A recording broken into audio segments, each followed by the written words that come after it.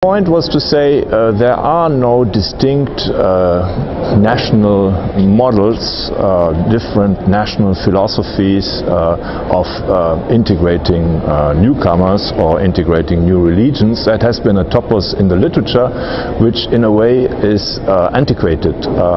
because if you look at the policy landscape, you will see that in most Western European countries there are essentially two policies to manage diversity which uh, are two policies that intervene in different phases of the integration process. Uh, in the early phase, for the early phase, you have call it civic integration policy, which subjects newcomers to uh, mandatory language instruction, civics, civic knowledge instruction, and tests.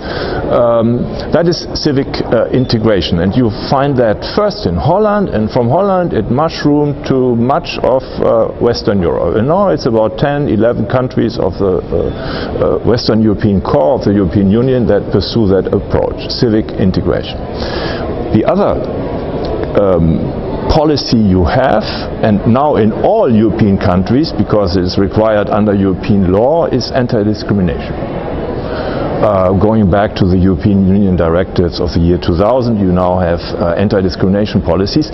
This is a policy that intervenes in a later moment of the integration uh, process. Uh, here uh, the idea is not the newcomer is to adjust to the receiving society. Here in a way the burden of adjustment is more on part of, uh, of, of the majority society which unjustly discriminates against uh, ethnic uh, minorities.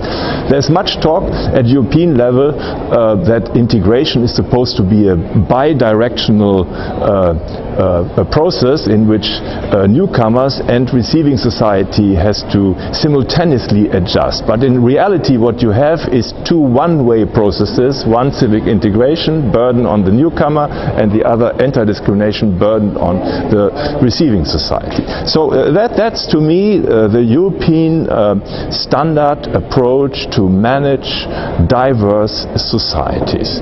Now the question is how does religion come into this, which is more or less the uh, topic of this uh, meeting here. With respect to religion, I think that it is in essence constitutional law and established models of linking organized religion and uh, the state which determine uh, the process of uh, integration or of managing diversity. And with respect to constitutional law, all countries of Europe have uh, religious uh, liberty clauses which guarantee uh, that possibility not just to the majority religion but to all, including the minority. So no big issue here, no specific policies, no multiculturalism required because the legal infrastructure is already there, a kind of egalitarian, um, individual-centered infrastructure that gu guarantees the equal uh, possibility to uh, exercise your religion. The, the, bottom line of all of it then is uh, the Muslim issue, to the degree that there is one in Europe, is not a religious issue because that integration process has worked not perfectly but fairly all right. It's going into the correct direction. The bottom integration issue is socio-economic.